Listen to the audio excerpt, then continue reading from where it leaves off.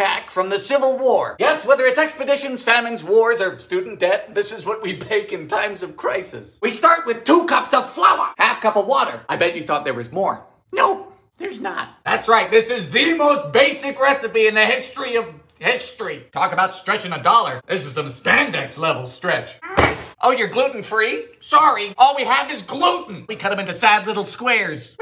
Time to poke some holes. You know, these kind of look like graham crackers. If graham crackers were made out of drywall. We then bake these boys at 250 for upwards of four hours to remove most of the moisture. And that's how these will last longer than even the most talented of men. These are roof tiles. Well, this is a first. Y'all really said Ford tough. Just aggressive. I mean, it doesn't taste bad. It's bread. Danger bread, but bread. Now, of course, you shouldn't eat them dry, but the taste is the same.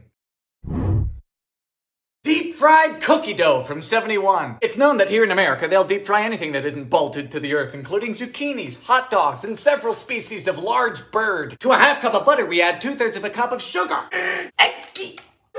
You come into my house. One and one third cup flour. And a cup of chalky chips. Mix. There's no floofers. They don't bake these, they'll go be flatter than my butt. Chill time. Now for the batter, we need a cup and a quarter of flour, teaspoon of floof powder, quarter cup of sugar, one cup of moo juice, then a tablespoon of vegetable oil. You don't want any lumps. I fry with peanut oil because it's correct. Are you ready to die? Yeah, me too. One, two, three. Mm. man, this looks incredible.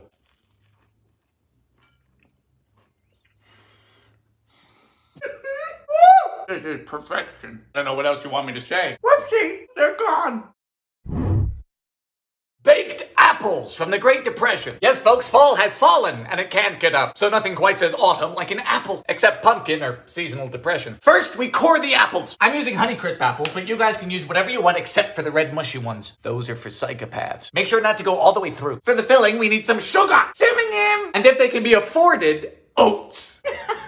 Living large tonight, boys. We got oats. I'm not making fun of the Great Depression. I am making fun of the Great Depression. Into a baking dish. Pat of butter on top. Finally, a bit of water. 350 for a half hour. So they look dead, but my house smells amazing. I would bake this just for this smell. Febreze who? Now how do I eat it?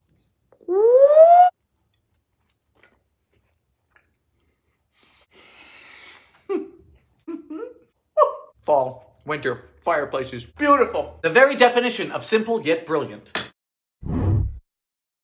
A roughage loaf from 1892. Now my first thought was who comes up with this? And then I took a look at the front. My man looks like he does taxes for fun. We start with an entire cup of wheat germ. Roughage is what dead people call fiber. And this is enough to incapacitate one medium child.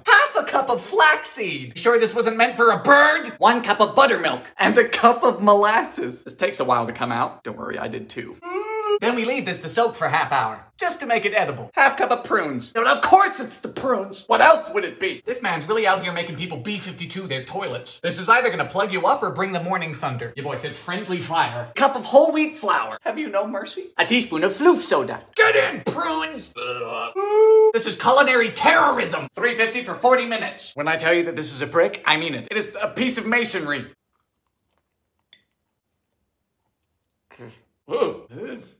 Tastes like a bookshelf. Books included. That is bad. A Snickers salad from 1974. Yes, this is one of these salads, which definitely isn't a salad because America is unsupervised and they can't be stopped. We start by chopping 10 ounces worth of Snickers bars. Hey, Dylan, what you doing? Oh, I'm just making my salad. You know, with the, with the chocolate bars. Come on. Cup of cold milk. Moo juice. Two packs of vanilla pudding. Four Granny Smith apples. For what? Solidarity? Granny don't deserve this. Whatever happened to respect your elders? Now into the pudding goes a tub of Cool Whip, because we don't give a shit. In goes the apples. And the Snickers. You don't measure this in calories. No, you measure this in years taken off of your life expectancy. For best results, chill. You need to chill! Hmm. Is it good? No. Is it bad? No, it's sugar. Go ahead, feed this to a child. You're gonna yeet them into orbit. Goodbye, Johnny. Post-terrestrial. Where's Johnny? Johnny is gone. A gooey butter cake from the 1930s. We start with a cup of flour, third cup of butter, Paper. Dash of sugar. You have to look like breadcrumbs. I don't know what type of bread y'all eating. We then press this into a square pan and cast aside, which is dead people talk for put it away. Time for the filling. That's the perfect name for a baking themed only OnlyFans. First is three quarters cup butter. Cup and a quarter of sugar. Butter go butter. One egg. This thing's popping. Now we alternate between adding a cup of flour and because it's the 1930s, two thirds of a cup of evaporated milk. Flour. Quarter cup corn syrup. We'll be done by Christmas. Nilla. I'm guessing the flavor profile is going to be cholesterol. Powdered sugar. 350 for a half hour. You know, some dishes aren't amazing, but they are innately comforting. And this is a prime example, like a hug on a plate. Wow. A jellied meatloaf from 1931. We begin with a pound of ground beef. You don't want the sky beef, that would be scary. Fire! Who's mooing now? Strain it and let it cool. It's not dinner time until you add a pack of gelatin to some water. Mmm. Onion and celery. Celery. Celery. You know what stings more than a knife, Mr. Onion? Rejection. Now two cups of chicken stock. Time to boil. Strain the stock into the gelatin. No veggies allowed. Thank you for your service. Mm. Now that this is thick, we add in the beef, pimentos, and then we mix. This is revolting. No, no, no. What a joy. Mmm. To the fridge. Good morning. Oh!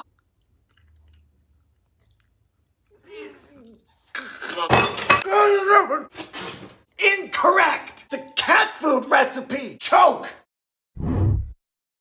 A blancmange from 1901. Now, blancmange literally translates to white dish, and judging by the lack of spices here, it certainly is uh, Caucasian. We start with one and a half pounds of almond milk. Since I'm not daft, I've converted that to three cups, one of which goes into a saucepan. The gentle peel of a lemon. Easy there, Shakespeare. Synonym! Nope, I lied. Sticks of synonym!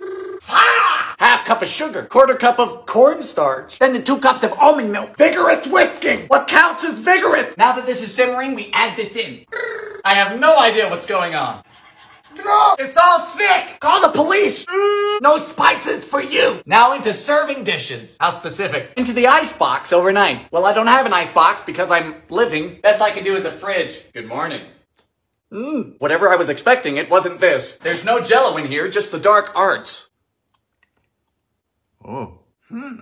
Taste is good. It's like Christmas, but it's unpleasantly slimy. Bizarre. Potato chip cookies from 76. Now sweet and salty things aren't anything new. You have classics like PB&J, chicken and waffles, fake friends, your in-laws. But this is crazy. One cup of butter, a cup and a quarter of sugar, cream. No, that would be very indecent. Butter go, but aren't you fluffy? Two eggy, teaspoon of vanilla.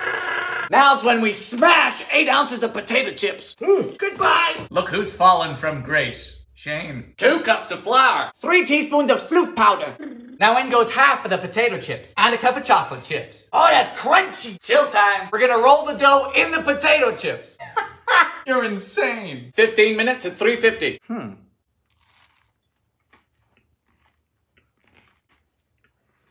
what? I don't know. I mean, the potatoes, the whole bag of potato chips. It's phenomenal. Wow. A date cream from 55. Now, if you've never had a date before, I'm sorry. You must be very lonely. But this is what they look like, and now you're looking at two fruits. We need one cup chopped. Very sticky. And this, gentlemen, is what happens when we get old. Cup of sugar. Quarter cup of cornstarch. Quarter cup of moo juice. What are we making, glue? Two cups of scalded milk. Ah! Boil vigorously. Mm. Now we cook for 10 minutes over a double boiler. No clue. I've never made a date cream before. I've never cooked a date cream before. The yolks of three eggs. Temper first. Get in. Mix. Cool it down with three tablespoons of butter. The dates. Nilla. To the fridge. Good evening. It's dark. This is solid. Hello? Whoa. Whoa. What? This is blowing my mind. This tastes amazing. But I am more astounded as to how we ended up with ice cream in the fridge. A soured raisin pie from the Second World War. Now I know this is gonna be awful because it calls for soured milk, not buttermilk, not milk and vinegar, no honey. Soured bad milk! Oh, she thick! The raisins! Use butter pastry for flavor. Flavor! Three, two, one, blast off! To the toilet. A cup of sour cream. Disgusting wasn't enough for you. Call the UN. Add spices. Thanks for that. What goes well with IBS? Brown sugar. Smells like Normandy. Charming. Bake until done. You're a piece of work. Goodbye. the pothole. I should have gone to church. Yeah. Oh, oh. no, no, no. Tastes like a shower drain or a bunion. Potato candy from the Great Depression. Just like my relationships, candy is inevitably unhealthy, so potato seems a peculiar addition. Peel and boil one russet. Ah! This recipe only has three ingredients, so I'm a bit scared. Your time has come. Add 8 to 10 cups of powdered sugar. Cups? Cups! Eight is the low end. There shouldn't be eight to ten cups of anything. This is poundage of sugar. Um, the potatoes are gone. It's turned to liquid. Are you a sorcerer? So much powder! Reminds me of my summers in Colombia. We literally now have a dough which we're gonna roll out. this is ridiculous. This potato. Jar of peanut butter. Every turn in this recipe has been a left. Come on. This feels familiar. To the fridge. Well,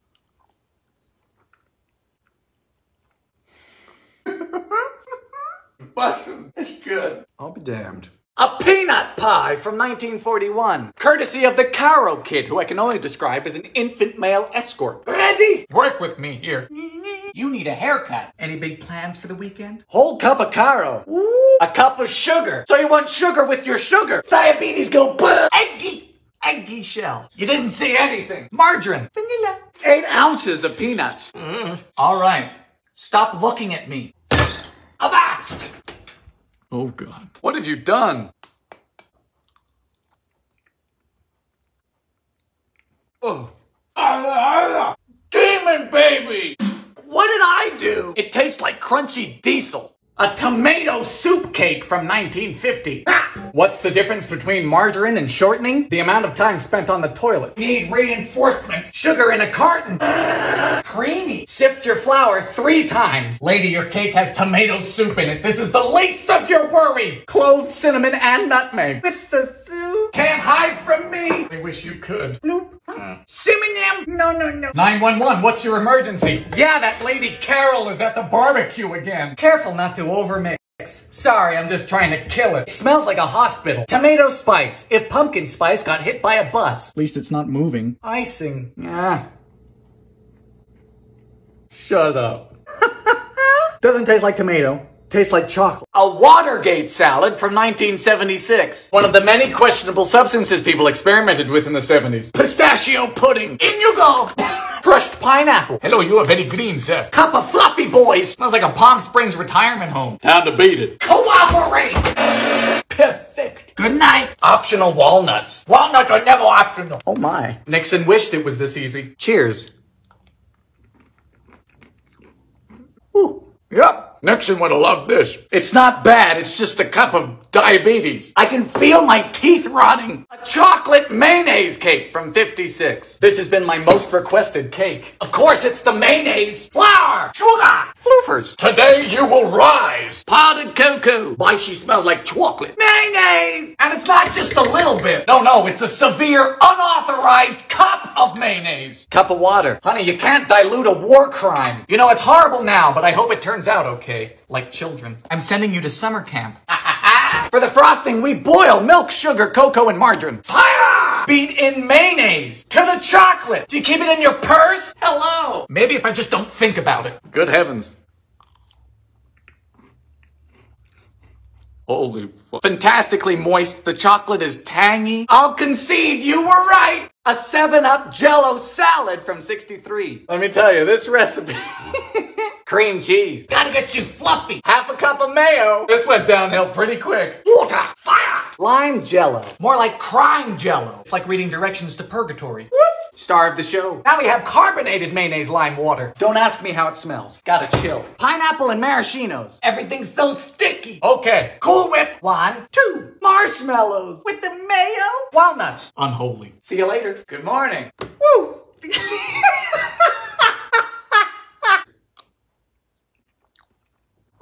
There's so much going on! Sorry, I can't say it's bad. It tastes like aggressively sweet fruit salad put into lime gelato. That doesn't make any of this okay. A carrot pie from 1919. Before pumpkin pie became king, people ate this. Now they're dead. Pound of carrots. Reloading! I just love this. Water! Fire! Time for pastry! Welcome to the world. It's awful. Get in, please. Get in the pan. Get in! Moo juice! Only a half cup of sugar. It's time for some eggy ginger. Simming Time's up. Combine all ingredients except for pie shell. Were you really worried that I was gonna mix in a fully constructed pie shell into this? I'm a fool, not an idiot. This is frighteningly liquid. Who are you? Hmm. Fascinating. Hold on. It's a pumpkin pie imposter. Bit chewier, but elsewise lovely. A vinegar pie from the Great Depression. A modern take on home baking. Sir, your phone number is four digits. Pastry! This is my son. Get a little bit dusty. You're gonna want a deep nine inch. Don't we all? Blind bake at 350. No, officer, there's no shell in here. Sugar! Add your Paula Deen extract. So far, so good. Vinegar. I take it back. Wakey, wakey, time for school. A dash of sorghum. Well, I don't have sorghum because I don't have a life expectancy of 12. That's the power of pine sol, baby. For thine is the kingdom. Bake to your liking. Sweetie, none of this is my liking. Don't come back. It came back. Nah.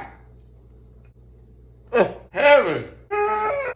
This is what I'd imagine a toilet brush to taste like. A chocolate potato cake from 1912. This is why we don't perform lobotomies anymore. Boil a potato. Did I mention this was a cake? Skins stay on, unlike Americans. Fire! Cream the butter. Can we at least have coffee first? Butter go boom. Should be a pale white. Eggy. Wakey wakey. Who's tough now? Moo juice. Bloop. Ziminem. Chocolate. I bet this recipe is just all the wrong answers on a baking test. Mm, Smells like dentures. Go away. Goodbye. For the icing, we boil butter, sugar, milk, and chocolate. My time has come. Not bad, dead people. All right. You're not supposed to work. It's incredible, and I'm mad about it.